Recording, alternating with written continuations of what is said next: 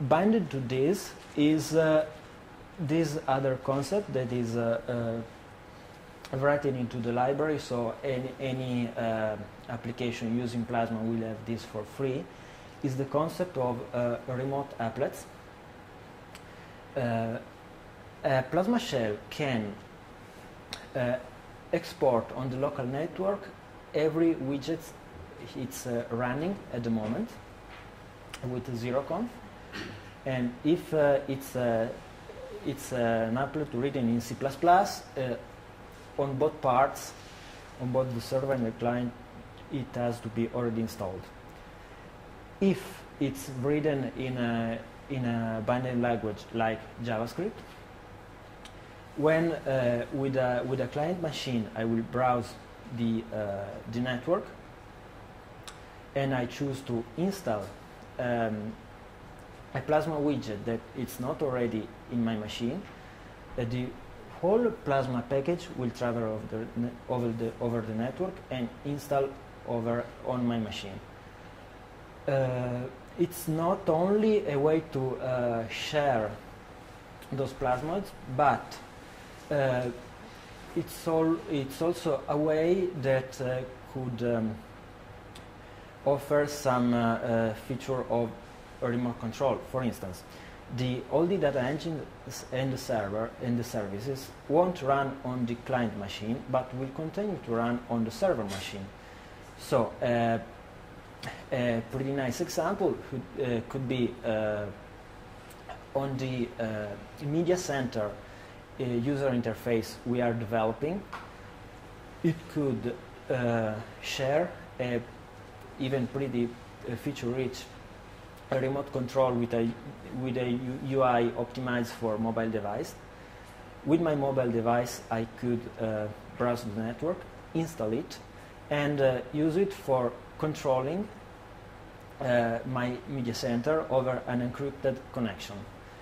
Uh, this uh, is uh, a pretty a new thing because some of the media center that exist right now offer similar features with um, but with uh, an application that has to be already installed on the device uh, while this way it will be uh, just installed and uninstalled on the fly. And will be we will always know that is the right version it's the last update uh, etc okay now let's do on some examples. uh, of uh,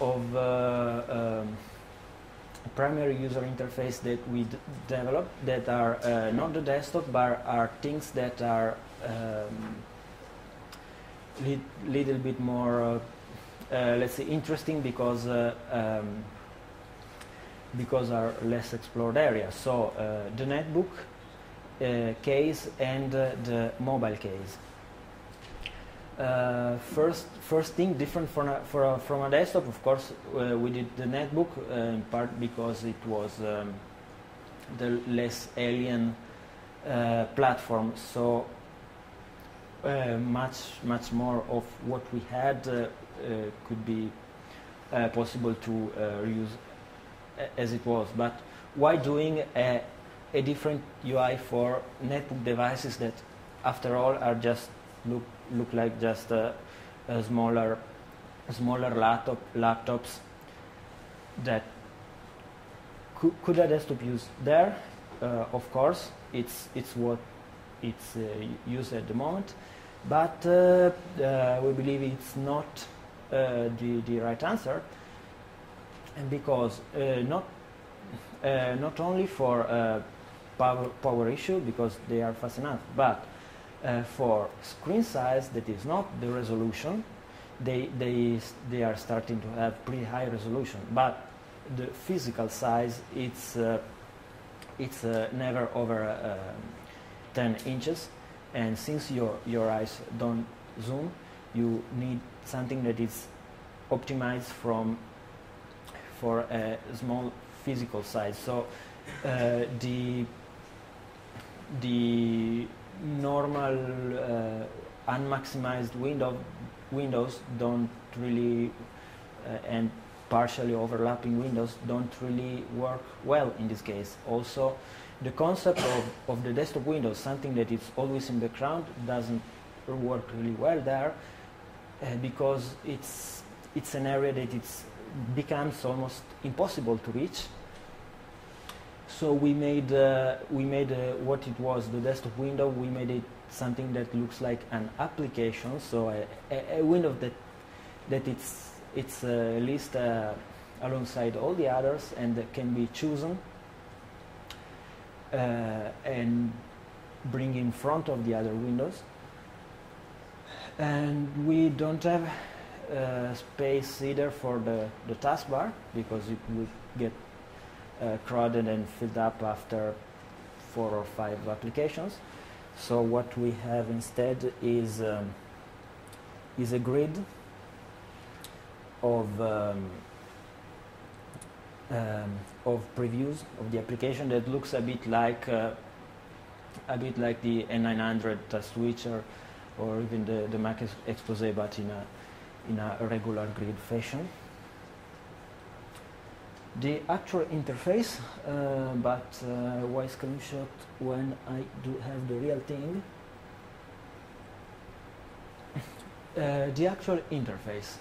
This is what uh, you see uh, as soon as you turn on the, the netbook. It's uh, a, a, screen that it's basically a full screen menu, but really important with a um,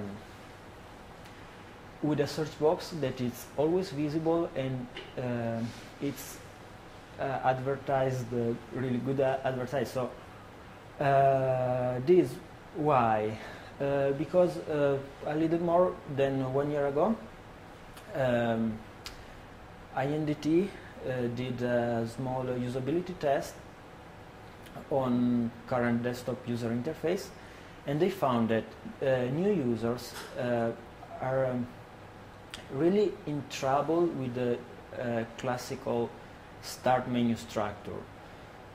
Because it's difficult to navigate, it has uh, small targets and because of the tree-like structure, uh, so categories, subcategories, sub-subcategories, um, they found that many users, especially the inexperienced one, found uh, the, those data structure of the tree really hard to, to be mapped into the brain. They prefer A, a flat uh, a flat structure even if the entries are quite a lot. B, they really like uh, uh, the search features if they work. Uh, and they, um, oh, in, the, in the test, they also did try um, KRunner, that is a, um, a small application that uh, the KDE4 um, provides that is um, this little window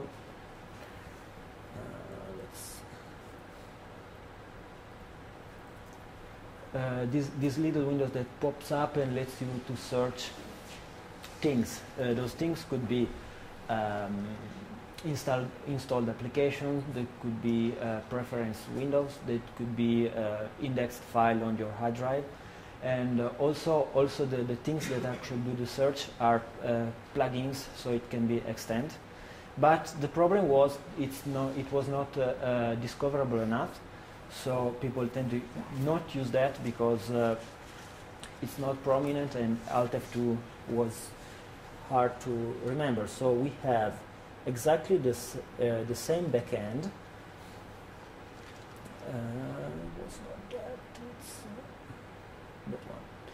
We have exactly the same backend uh, with the same pl search plugins, but with a uh, completely different UI.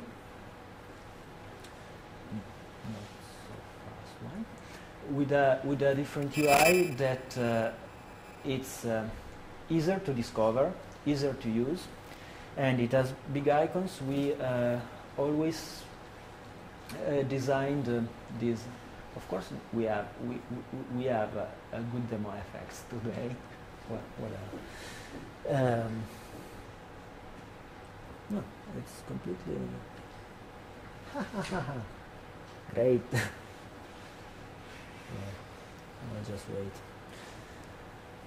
Uh, well, until I okay.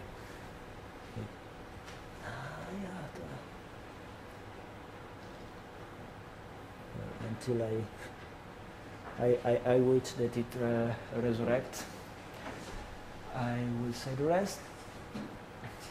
Uh, we designing this, uh, we also uh, always paid attention that it would also at work on uh, touch screen. Um, hey, here it is. Okay. Uh, it also did work on touch screen uh, uh, based user interfaces because at the time netbooks were, were not touch screens. Probably in the future more and more will be.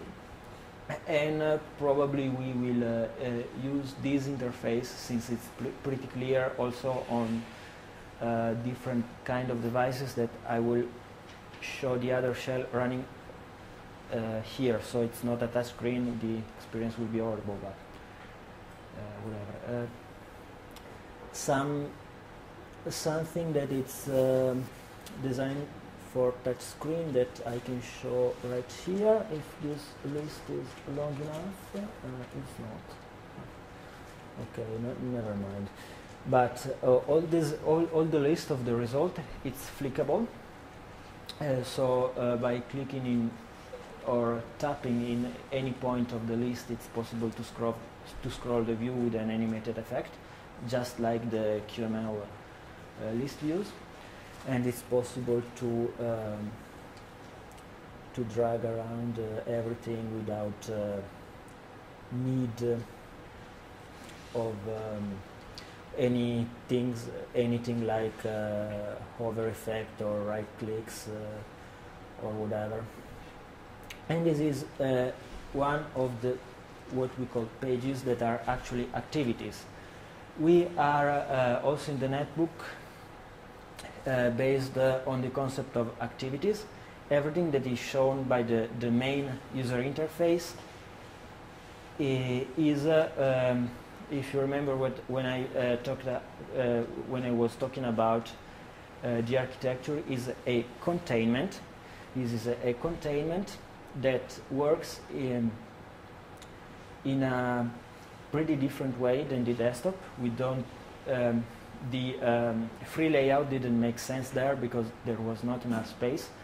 So this uh, uh, that we call the newspaper is a, a layout that puts widgets in two columns. And uh, it's possible to browse it around as it was a real newspaper. And also there uh, is a, a flickable widget so it's uh, really easy to use also on touchscreen. I can just uh, touch everywhere and drag it without actually having to use the scroll bar that uh, will uh, eventually disappear on uh, uh, only touch-based uh, interface when it, uh, while it will remain on things like a netbook that are uh, operated by a touchpad.